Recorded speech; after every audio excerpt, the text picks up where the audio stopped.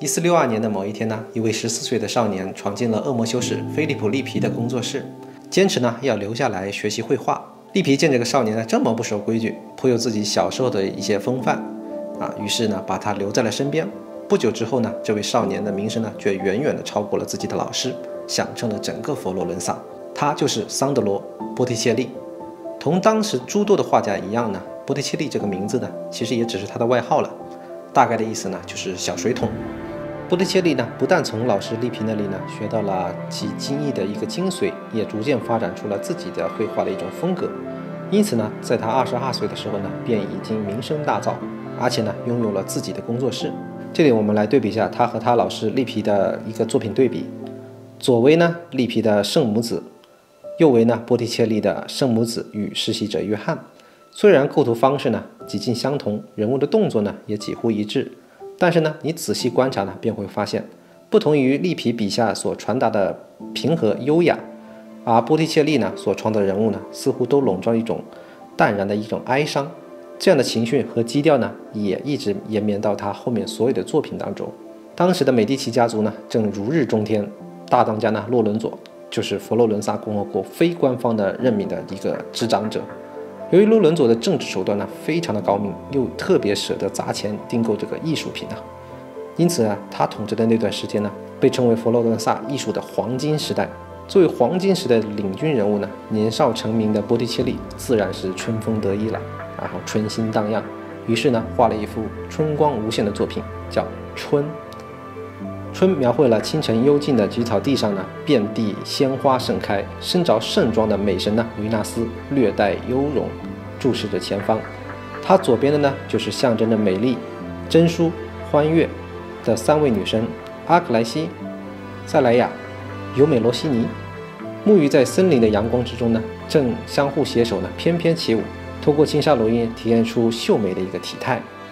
轻盈优美的舞姿呢，给人间带来了生命的一个欢乐。波提切利呢，在绘画的材质呢，选择呢也是比较另类的。波提切利呢，生活在十五世纪末、十六世纪初，这差不多对应的是我国明朝中期。这个时期的佛罗伦萨呢，油画呢，已经作为一种新型的一种技术，在当时呢，已经开始全面普及了。但是波提切利呢，却坚守传统，选择跟油画对应的一个题材——淡彩画。文艺复兴早期的方式呢，基本上都是采用坦培拉。其实呢，也就是淡彩画。淡彩画呢是一种古老的绘画方法，是用淡黄呢或者淡青呢调和颜料绘制而成，多画在表面呢附有石膏的一个画板上，盛行于十四世纪到十六世纪。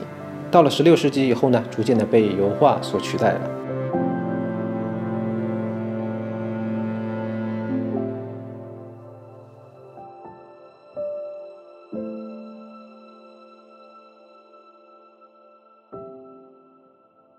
西莫内塔·波提切利单相思的一个情人，他曾陷入了与美第奇二当家朱利亚诺的一段绯闻之中，但这并不妨碍波提切利对他的爱，因为呢身份和地位的关系，波提切利呢也只是将这份爱隐隐的藏在了自己的内心。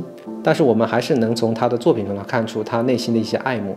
这位女子呢也被认为是为什么波提切利一生未娶的一个原因。作品村中那个神情没落的维纳斯，她就是西莫内塔的一个身影。维纳斯和马尔斯中也有他的影子。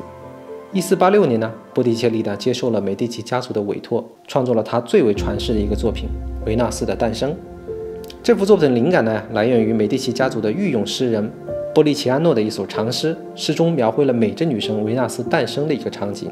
站在贝壳上的维纳斯呢，像无瑕的珍珠一般呢，出现在爱琴海的浪花中，略带羞涩地遮掩着自己的一个身体。西风之神呢，将它吹到了岸边。花神呢，撒下了漫天的玫瑰花瓣。森林仙女呢，展开了手中精美的一个斗篷，迎接维纳斯的一个到来。她牺牲了一部分马萨乔刚刚探索成功的表现技法和人体解剖学的一些知识，为了换取一种更加和谐完美的画面的一个整体的一个效果。文艺复兴绘画的主流呢，是人物的比例呢非常的正确，强调呢极端写实，人物形象的正确性非常重要。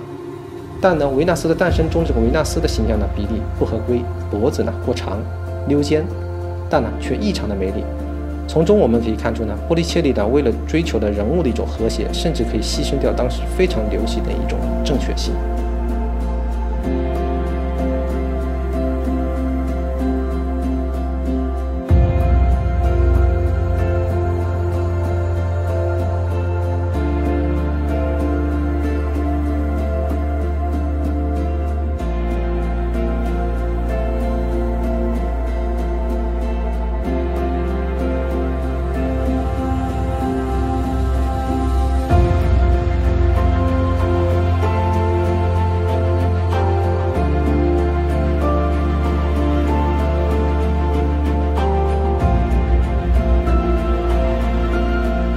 女性的裸体呢，在当时的教会呢是严令禁止的，所以这个画作呢也是美第奇家族的私人珍藏了。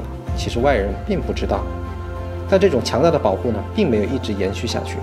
一四九二年呢，美第奇家族的统治者呢，洛伦佐去世了，佛罗伦萨的黄金一代呢，也就告一段落。新的继承者呢，皮耶罗软弱无能，失去了对佛罗伦萨的一个统治地位。混乱之中呢，一个叫萨沃纳罗拉的天主教师呢，他极端禁欲的主义呢，蛊惑了大众，也让波提切利呢，对自己的美学信仰呢，产生了怀疑。一四九七年呢。萨沃纳罗拉在市政大楼旧宫前的广场上呢，点起了熊熊大火。他搜刮到包括文艺复兴艺术品在内的世俗享乐物品呢，扔进了火海，避免人们在他的蛊惑下呢走向堕落。在那些艺术品中呢，有许多波提切利后期的一些绘画作品，这就是历史上臭名昭著的“虚荣之火”事件。一五一零年呢，波提切利在贫困和悔恨的折磨中呢，离开了人世。应他早年的要求呢，和他的暗恋对象呢，西莫内塔安葬在了一起。也算是终成一对了吧。波利切利的作品呢，看上去不符合文艺复兴时期的一个大规律，但依然不妨碍他成为一位大师。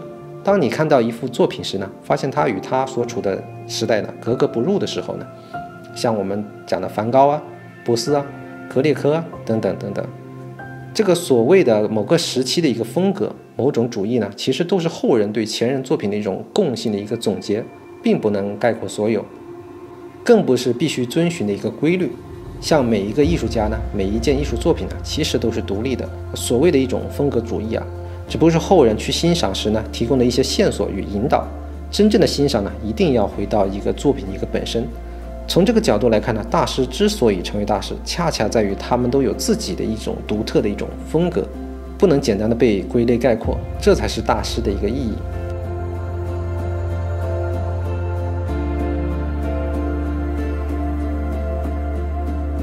好了，今天我们就讲到这里，我们下节课再见。